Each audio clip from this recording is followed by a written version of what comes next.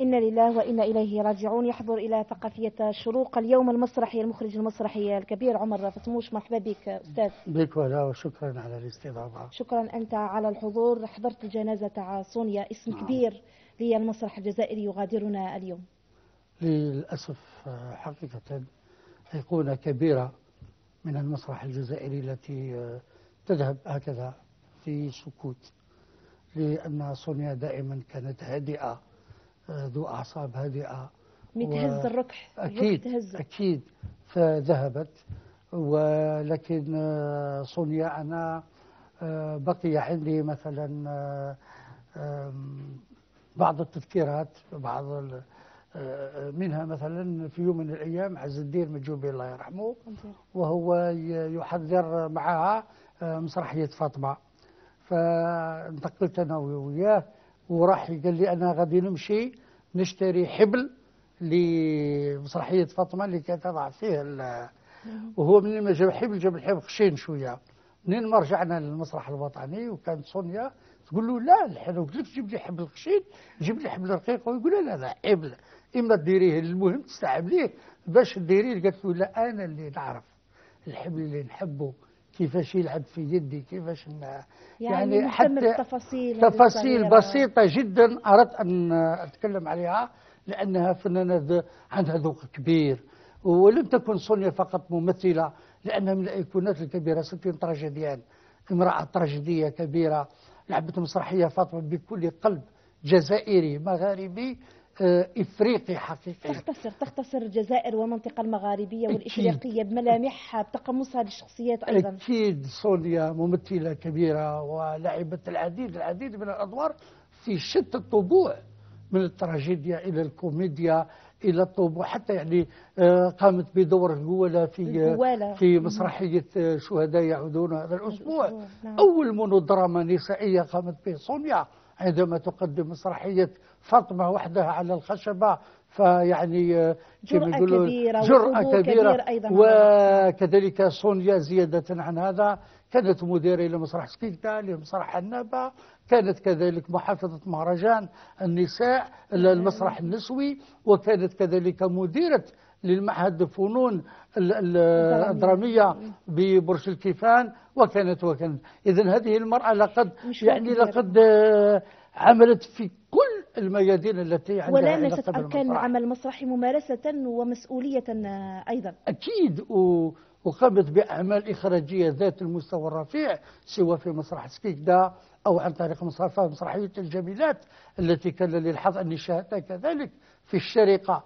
على مستوى المهرجان العربي نعم. الكبير على مستوى الهيئة العربية للمسرح وكان عرض جميل جدا آه، وكذلك كانت قامت ب آه، آه، سونيا بالعديد من الأعمال التي تشجع فيها الشباب وتشجع فيها الشابات العنصر النسوي خاصة نعرف. اللي سونيا هي تحتفي بتواجد المرأة على الركح وتشجع ذلك أكيد. من خلال مبادراتها المسرح أكيد. مهرجان المسرح النسوي أكيد. والأخذ بيد الشابات على أكيد الركح أعمال الأعمال النساء المسرحية. الأخيرة مثلا امرأة من ورق الجميلات نعم،. والعديد من فاطمة والعديد من مسرحية فاطمة التي قدمتها لنسرين بالحاج وهي تقول أريد أن تكون نسرين بالحاج هذه الممثلة الشابة هي التي تحاول أن تعمل العرض والكاريزما. نعم أكيد نعم. وعندها عاطفة كبيرة جدا جدا و و وكانت تتمنى وتقول أنا سوف أنتهي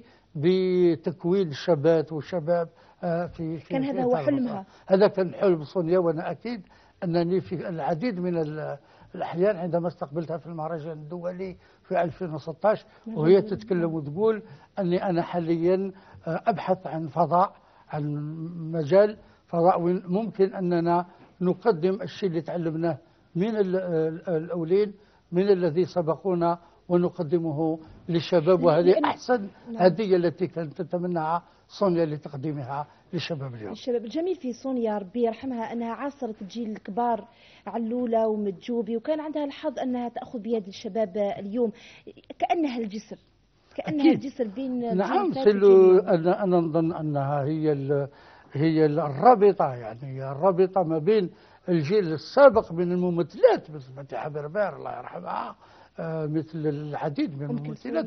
وهذا الشباب الجديد لأنها حاولت أن تنطلق من التجربة القوية والتجربة الكبيرة التي عاشتها منذ سنين مع كل هذا الممثلين والممثلات سواء في إطار السينما أو في إطار المسرح وحاولت أن تأخذ هذا الزخم من التجربة آه، يعني وتحاول أنها تقدمها إلى كل هذا الشباب وإحنا شفنا يعني كيف خدمت مثلا في مسرح الجميلات وكيف خدمت مثلا في مسرح ال- ال- في المسرح مع مسرح النبا في مسرحية امرأة من ورق مع ليديا العريني التي يعني شفنا بزاف كيف تحبها. وتقدم وتعمل معها مع ليندا سلام وعن العديد من الممثلات الجزائريات اللي حاولت أنها يعني تعطيهم كل ما هي يعني ما حاولتش أنها تب- ت- تبخل في العطاء. إنها امرأة آه، قدمت كثير. إنها امرأة العطاء الفني امرأة العطاء المسرحي امرأة العطاء آه، آه، بدون شحة يعني.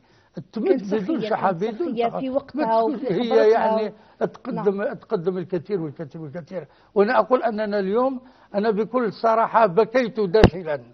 بكيت داخلا لأني كانت لي كثير من الفرص أني عرفت هذه المرأة القوية وكانت لنا فرصة أننا نقوم بعمل مسرحي لكاتب مكسيكي عامل تاع زوج نساء أننا نقوم بهذا العمل ولكن ما آه، الغالب ما كانت كانش الحظ ما كانش. الظروف مهم. مواتية انذاك سونيا كان عندها عمل كثير وكانت عندها العديد من الأعمال على مستوى المعهد الفنون الدرامية وما كانش الفرصة باش نقوم بهذاك العمل.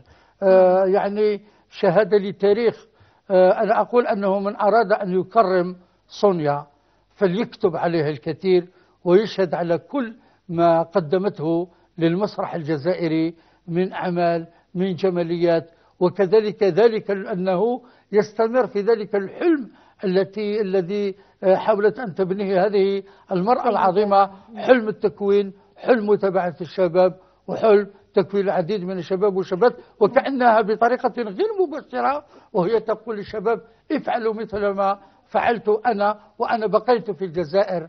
وتقول أني في الظروف الصعبة يجب هذه اللي كانت تطير فيها الرؤوس يعني. الله طير فيها الرؤوس وكان المسرح صعب بقيت كما بقى زميلها عز الدين آه، مجوب الله يرحمه وقالت أنا أعمل هنا في بلادي. فتحية كثيرة آه، كبيرة كبيرة جداً. كبيرة نعم. جدا لهذه المرأة العظيمة. هذه المرأة اللي غادرتنا اليوم آه، سي عمر فتموش تعرفها عن قرب أيضا. ما هي الممكن؟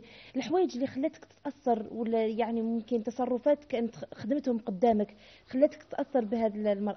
آه، أنا قلت لك أولا كانت مرأة يعني آه، عندها رؤية بعيدة جدا يعني أولا ولكن عندها هذه زوبستاكل آه، يعني آه، عندها عوائق. بزاف. والله يعني سونيا ما كانتش تأخذ بعين الاعتبار آه، هذه العوائق البسيطة وكانت منين ما نتكلم يعني عندنا الفرصة أننا نتكلم بالخصوص كي نلتقي كمدراء مسرح تقول أن هذه عوائق عادية يعني وموجودة هي تقول موجودة في العديد من المسارح موجودة في العديد يعني من البلدان. يعني ما كانتش تهون- تأثر تهون- تهون تاثر كل فيها كثير يعني. حتى إذا كانت تحسها وتقول للأسف أن هذه المش- المشاكل موجودة ولكن داخليا آه، كانت عندها قوة شخصية قوة كبيرة جدا. فرصة كاركتر اكستراوردينار و- وتعرف تحسم وتعرف تأخذ مواقفها ومن هذا الباب منين ما نتكلموا كثير مثلا عن المسرح الجزائري أنا أتاك نتكلموا مثلا على المسارح الجهوية على مشكل التكوين إلا وإنها تأتي وتحاول أنها تقدم حلول أكثر من أنها آه، آه، تحاول أن تطبع وتطرق مثلا وتجبد مثلا وتتكلم آه، آه، كثير عن المشاكل بصفة عامة. نعم. أستاذ عمر فتموش الآن سونيا رحلت. الجيل اللي راه الآن في المسرح الجزائري عموما هل ممكن أنه يأخذ المشعل مشعل المسرح الجزائري البارز اللي كان بارز سنوات مضت؟ أنا أظن أنه ال- الجيل هذا اليوم يجب أن ينتبه إلى شيء أساسي جدا إلا وهذا وأنه المسرح قبل كل شيء فعل أكاديمي آه، بحت. يعني قبل مهما تكون الموهبة.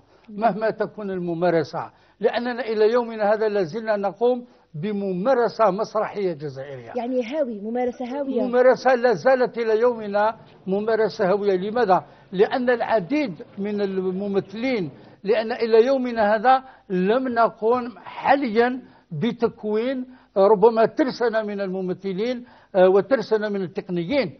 لأن المسرح هو عبارة عن فعل جمالي متشعب. مسرح هو تقنيين مسرح هو آه، العديد من تكنيك المسرح هو العديد من من الجماليات. اذا اذا متوفرة كلها الآن. لا مش متوفرة غير ممكن لأن هذا الشيء فيه يدخل من باب المختصين. هناك مختصين اللي يقوموا بهذه الأعمال.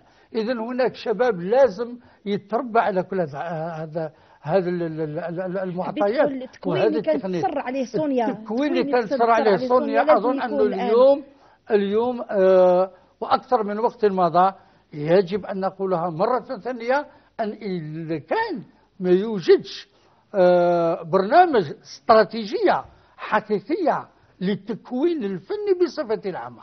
تكوين من طرف المعاهد الرسمية حبيت لا على مستوى المعاهد الرسمية على مستوى المسارح. هناك من نتكلم على استراتيجية معناها هناك أفق كثيرة هناك فضاءات كثيرة التي ممكن يكون فيها التكوين.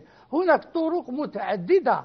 آه مثلا ممكن أننا نقوم بمسرح السيرك في التكوين عن طريق مثلا كل ما تقدمه وزارة الشباب والرياضة من مكونين البدنيين.